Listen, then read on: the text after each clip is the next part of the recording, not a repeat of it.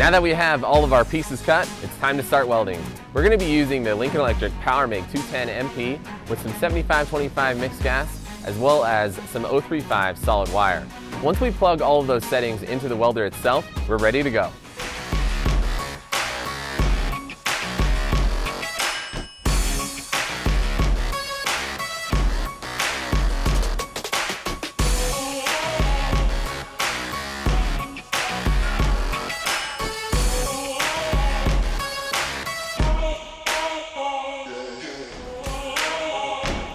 Thanks for watching this episode of Design Cut Build. You can find this build project's design files on fabricationforum.com under the DIY project section.